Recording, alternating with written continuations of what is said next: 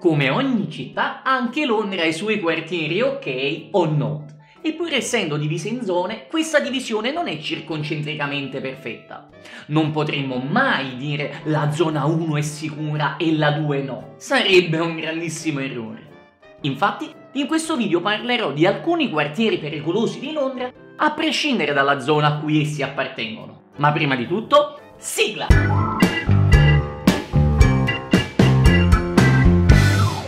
A Londra la criminalità ha dei picchi in alcuni quartieri in particolare. Per tenere costantemente aggiornati sull'argomento tutti gli abitanti e anche i visitatori, la polizia londinese ha creato una sorta di mappa del crimine che puoi consultare sul sito della Polizia di Stato britannica. I quartieri colorati di rosso sono quelli con un livello di criminalità molto molto alta. Westminster è il centro della vita politica e culturale del Regno Unito. La notizia può stupire, ma a rendere questo quartiere uno dei luoghi più pericolosi di Londra è proprio la sua fama ed il continuo via vai dei turisti e di visitatori. Essendo sede del Parlamento, del governo, della monarchia, Buckingham Palace per intenderci, dell'alta corte di giustizia ma anche di attrazioni turistiche famose in tutto il mondo come Piccadilly Circus e Hyde Park, il rischio di attentati terroristici è sempre molto alto, come lo è dopo tutto anche il Vaticano e Roma, insomma tutto il mondo è paese. Camden Town si trova al nord di Londra ed è famosa per i suoi colori e il suo mercato all'aperto. Camden Lock è una delle maggiori attrazioni turistiche specialmente nel weekend, poiché si riescono a trovare a prezzi accessibili prodotti di ogni tipologia,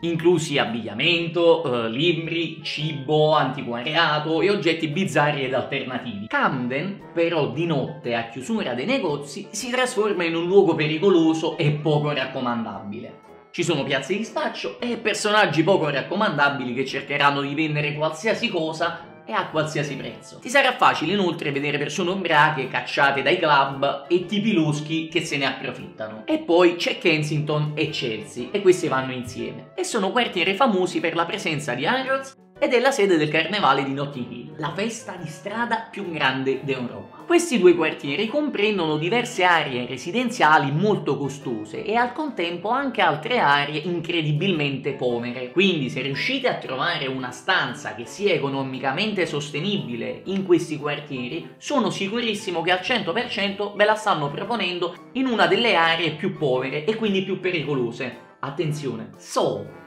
Soho è il quartiere pericoloso da evitare per eccellenza, soprattutto di notte. È la sede di numerosi sexy shop autorizzati e cinema a luci rosse. E qui la prostituzione è ancora diffusa in alcune aree. È adiacente a Piccadilly Circus e King Cross Road ed è la dimora di tanti spacciatori di prostitute e persone violente. Ed infine possiamo parlare di Brixton, che si trova a sud della città ed è considerato un quartiere pericoloso sin dalle prime ore della sera. Frequentato dalle baby gang insediatesi nel tempo, resta un quartiere molto mal visto persino dalla polizia londinese. Alcuni lo definiscono addirittura il Bronx di Londra, visto l'alto numero di ubriachi in giro per il quartiere. Altri lo ricordano per i Brixton Riots, ovvero una protesta sociale che si trasformò in razzie e violenze gratuite nate lì e dilagate poi in tutta la città per diversi giorni. Londra è una città stupenda, ma come tante grandi città ha anche lei i quartieri poco raccomandabili che sarebbe meglio evitare durante la notte.